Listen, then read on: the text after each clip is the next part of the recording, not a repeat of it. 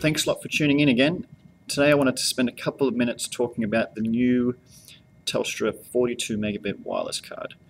Um, before I do, I should explain the Mo. Uh, it is November, which is also known as Movember. Uh, Movember goes towards raising money for prostate cancer and men's depression. If you'd like to make a donation, you can go to movember.com.au. Anyway, now that I've got that out of the way, the new Telstra wireless card is available for everybody in Australia. It's pretty good. Um, there's a few things I want to cover with it. Um, first of all, I want to start with the appearance. It's big. It's pretty big compared to a traditional USB wireless card. It's actually quite large. Um, but in saying that, it's quite shiny. It looks really good. It looks the biz. Um, initially when I looked at it, I thought this is going to be a real issue because you genuinely will plug it in from the side, um, which is great. You've got the little big flap hanging out. However, um, and I mentioned this in a previous review about wireless cards, we have a lot of vertical USB ports in the organization that I work for, um, which to me was going to be a huge issue because look at this thing from the side, it's massive. Um, so that was going to be a huge concern. So having looked at that, I then found that they ship it with the extension cable, which I'm not a big fan of extension cables to begin with. Um, I don't like them, I shouldn't have to use them. However, it also comes with this little piece of plastic, which at the start I thought was just a five cent piece of equipment. However, what it's good for is it's actually a screen clip. So you can plug this little clip onto the screen and this can plug up the butt of it and you actually put the wireless card through the top.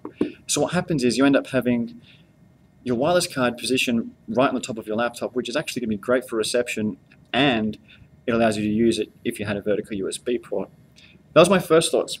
But then, as I was playing with it, I realized that they're a little smarter than that. This, I thought was fixed. I thought it was that way and always that way. However, it turns. It turns vertically. So I don't have to use that cable anymore. I can just do it straight into the side with this little dongle. It's That made me happy because I hate using extension cords. Having said that, that's the joint, that's the fancy bit which I tend to whinge about. Um, it's That part pleased me. The back door, when you open it up, it looks the biz. I mean, it's nice, it's shiny. Um, you can see the two top, there's two antennas um, and the little slot for the SIM, and of course the uh, oops, the expandable slot. Sorry, I lost the camera there.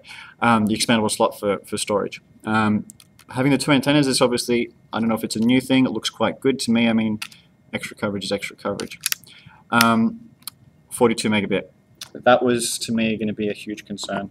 I thought, there's no chance. So I did a few tests. I went out and I live around 50 kilometers from, from the Sydney CBD. So obviously my biggest concern was there's no way I'm going to get anything better than my current um, Optus wireless card, which is you know the 7 megabit Optus card, which I used to get about 2 megabits from home, um, which isn't that bad. It pleases me for general internet use. It's usable. I can get what I need done. That's fine. So I plugged this in at home, um, gave it a quick test through speedtest.net and I was achieving uh, about 4 megabits a second, which is which is fine. Um, it's not 42 megabit, but you know, living that far out of the CBD, I didn't really expect it to be uh, incredible. Um, but still doubled the speed of what uh, my Optus card was, which is good.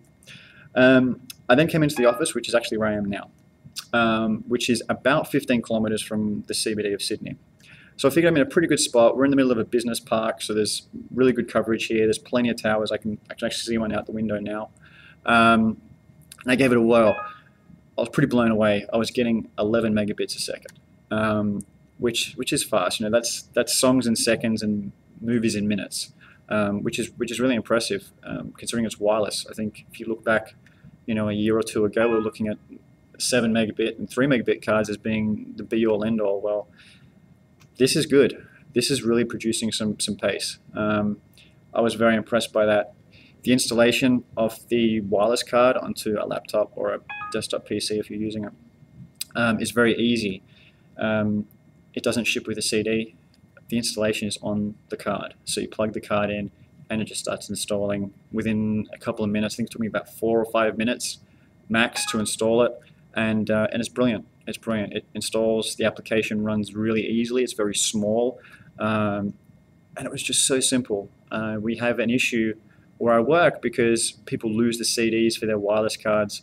And to, to download it, or I have to ship them a new CD. That can be a problem. However, if they've got the card, they've got the software, which means you can put it on any computer um, at any time, and you can just start browsing the web, which is which is great. Um, there isn't a lot more to say about it. It is just a wireless internet card. However, this really is something. It's it's it's kind of impressed me. Um, I didn't expect it to be this good. Um, I'm going to be using it for quite some time, I think.